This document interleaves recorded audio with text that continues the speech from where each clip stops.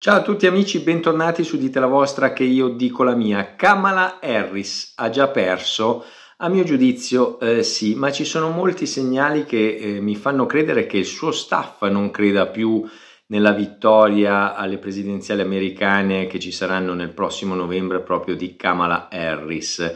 In primis l'ultima intervista rilasciata a Fox, emittente notoriamente vicino al mondo repubblicano, e quindi già questo vuol dire tanto. Kamala è in difficoltà e cerca addirittura eh, qualche voto eh, in campo nemico, ma in questa intervista ha preso le distanze dall'amministrazione Biden ricordiamola, lei è ancora la vicepresidente in carica dell'amministrazione Biden, insomma ha detto se divento presidente sostanzialmente sarà in discontinuità eh, con l'amministrazione di Biden, quasi a volerne prendere le distanze, perché evidentemente tutti i dati in mano allo staff della campagna della Harris dicono la stessa cosa, sta perdendo, deve cercare di recuperare, ma non è a mio giudizio prendendo le distanze da Biden che potrà cambiare le proprie sorti, anzi essendo stata la vicepresidente fino ad oggi, forse avrebbe dovuto osare eh, il contrario, ossia fare